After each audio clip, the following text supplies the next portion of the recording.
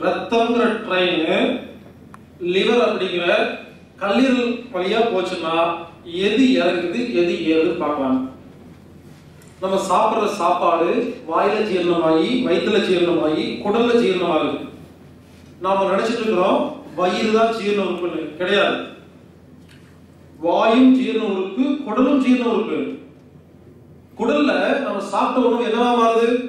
Carbohydrate protein vitamin mineral fat fibre. மாவுச்சத்து நார்ச்சத்து உயிர்ச்சத்து தாது பொருட்கள் புரதச்சத்து இப்படி மாறுது.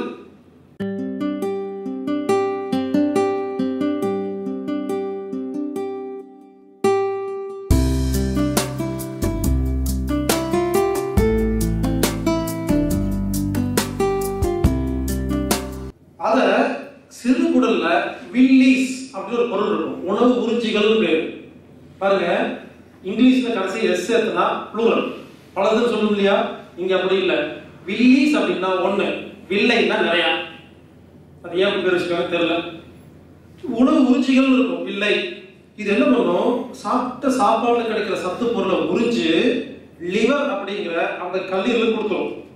கல்லீரல் அப்படிங்கிற ட்ரெயின் ரத்த ரயில்வே ஸ்டேஷன்ல ட்ரெயின் வருதா? கல்லீரல் என்ன பண்ணும்? கார்போஹைட்ரேட் புரோட்டீன் விட்டமின்லாம் ரத்தத்துல ஏத்தி வருது இப்ப ரத்தத்துல சர்க்கரை புரோட்டீன் விட்டமின் சுத்திட்டு இருக்கா? எல்லா செல்லும் கதவு கதவு சாப்பிடுதா?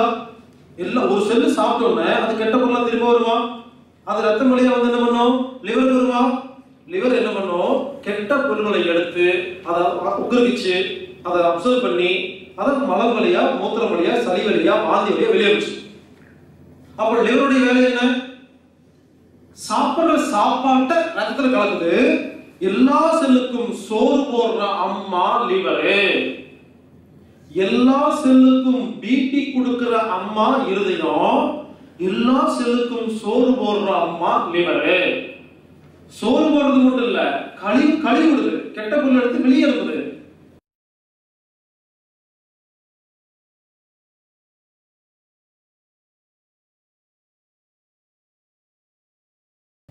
இப்ப சொல்லுங்க.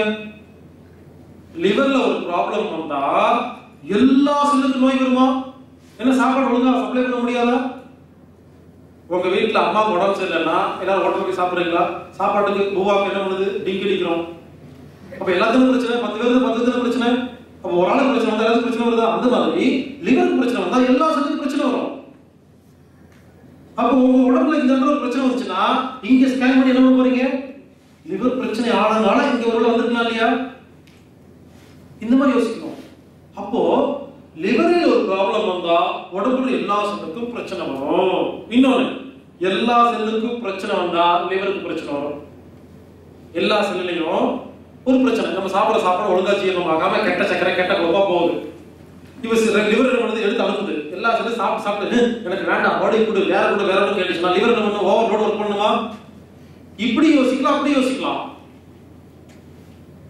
அப்போ லிவரில் ஒரு நோய் வந்தா எல்லா செல்லும் ஆரோக்கியமா இருந்தாதான் லிவர் குணமாகும். லிவரில் நோய் வந்தா எல்லா செல்லுக்கும் ஆபத்து எல்லா செல்லுக்கும் ஆபத்து வந்தா லிவர் ஆபத்து. அடுத்தது.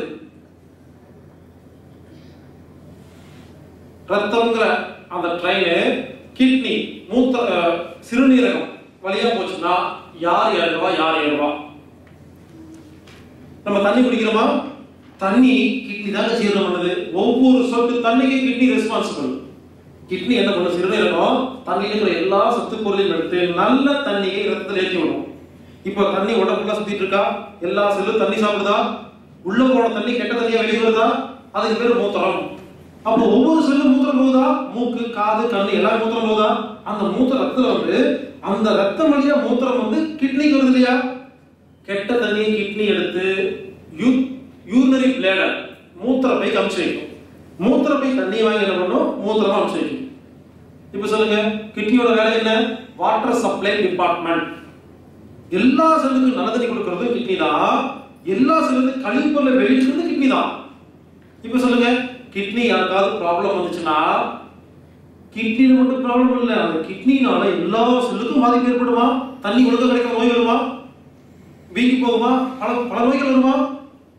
அப்போ கிட்னி குணப்படுத்தணும்னா எல்லா செல்லையும் குணப்படுத்தினாதான் கிட்னி குணப்படுத்த முடியும். எல்லா செல்லுக்கும் நோய் இல்லாம இருந்தால் கிட்னி நல்லா இருக்கும் கிட்னியில நோய் வந்தா எல்லா செல்லும் நோய் வரும். இப்படி மாத்தி மாத்தி யோசிக்கணும். அடுத்தது நுரையீரல். ரத்தம்ங்கிற ட்ரைன் லங்ஸ் வழியா போகுது இல்லைங்களா? என்ன தெரியுமா? நுரையீரல் காற்றில் இருக்கிற ஆக்சிஜன் ஹைட்ரஜன் நைட்ரஜன் போன்ற காற்று சம்பந்தப்பட்ட பொருளை எடுத்து ரத்தத்துல ஏத்துது. இப்போ உடம்பு ஃபுல்லா லங்ஸ் உடம்பு ஃபுல்லா காத்து சுத்திட்டு இருக்கு. ஒவ்வொரு செல்லும் ஆக்சிஜன் ஹைட்ரஜன் சாப்பிடுதா? உள்ள உடனே கெட்ட பொருளா வெளியே வருதா? கெட்ட பொருள் ரத்தம் வந்தோடனே அதை சுத்திட்டு லங்ஸ்க்கு வருதா? மூக்கு வழியா வெளியே போதா இருக்கிறீங்களா விடுற காத்து இப்ப போன காத்து இல்ல. அது ஒரு பத்து நிமிஷம் முன்னால போய் உள்ள போச்சு இல்லையா? அது உள்ள போய் கெட்ட காத்தா மாறி வெளியே வந்து வெளியே போயிட்டு இருக்கு. இப்ப உள்ள இருக்க காத்திக்கு தான் உள்ள போயிட்டு இருக்கு. சப்ளை ஆயிட்டு இருக்கு.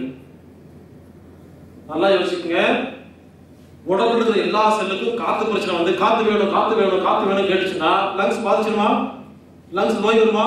அப்ப நுரையீரல் நோய் வந்தா நுரையீரல் காரணம்? எல்லா உறுப்புகளும் காரணம்.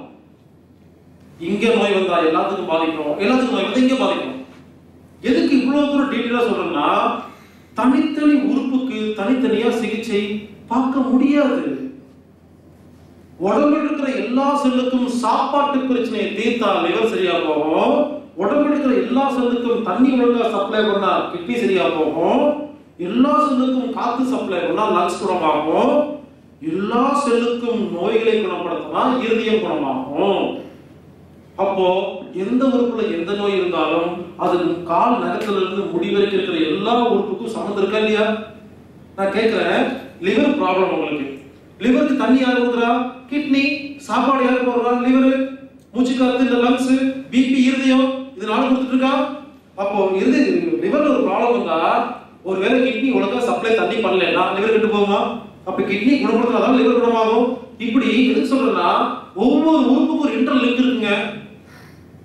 எல்லாம் ஒழுங்கா இருக்கணும் ஒரு கம்பெனி நடத்துறீங்க செக்யூரிட்டில இருந்து மேனுஃபேக்சர் பண்ற ஆள்ல இருந்து சப்ளை பண்ற ஆள்ல இருந்து கடைசி கியூசி வரைக்கும் எல்லாரும் ஒழுங்கா இருந்தா மட்டும்தான் ப்ராடக்ட் ஒழுங்கா வெளிய செக்யூரிட்டிக்கு லூஸ் பிடிச்சிருச்சு. என்ன பண்ணுவாரு? எல்லாத்தையும் உள்ள அனுப்பிச்சு விட்டுருவாரு. இருக்கிற கம்பெனி நாஸ்தியா போயிருமா? கடைசி கியூசி ப்ராடக்ட் கண்ட்ரோலர் அவர் பைத்தி பிடிச்சி என்ன பண்ணுவாரு? கெட்ட பொருத்துக்கு அனுப்பிச்சு கம்பெனி ரெண்டு போயிருமா அப்போ ஒரு கம்பெனில எல்லாரும் ஒழுங்கா இருந்தாலும் கம்பெனி ப்ராடக்ட் ஒழுங்கா வரும். அப்போ உடம்புல எல்லா ஒழுங்கா தான் இருக்கணும். தனித்தனியா உறுப்புகள்ல போய் ஸ்கேன் பண்ணி ஏன் தெரியுமா எல்லாம் பத்து வருஷம் பதினஞ்சு வருஷம் மருந்து மாத்திரை சாப்பிட்டு இருக்கிறோம் உலக வைத்தியம் என்ன பண்ணுது? ஒரு குறிப்பிட்ட உறுப்புல வலின்னா இங்க மட்டும் ஸ்கேன் பண்ணி இங்க மட்டும் பார்த்து என்னமோ பண்றாங்க. அந்த ஒரு குறிப்பிட்ட உறுப்புல பார்த்து பிரயோஜனம் இல்லைன்னு சொல்றாங்க.